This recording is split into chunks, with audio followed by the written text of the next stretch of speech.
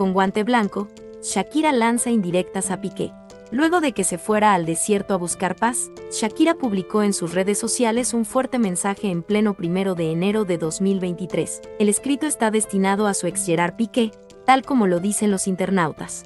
La publicación tiene varias líneas, empieza con, aunque continúen abiertas nuestras heridas en este nuevo año, el tiempo tiene manos de cirujano. Aunque alguien nos haya traicionado hay que seguir confiando.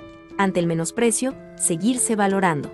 Porque hay más gente buena que indecente, más gente empática que indolente. Son menos los que se van y más los que permanecen a nuestro lado. Sigue el mensaje y termina con una frase contundente.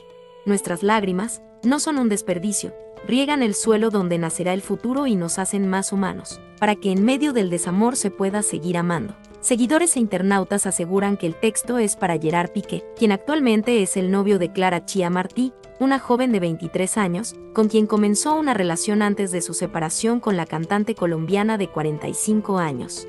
¿Y tú qué opinas? Deja tus comentarios y síguenos en Noticias Tendencia.